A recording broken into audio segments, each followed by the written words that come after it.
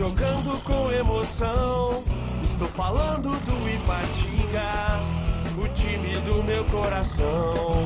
O tigre com garras de aço, pronto pra atacar.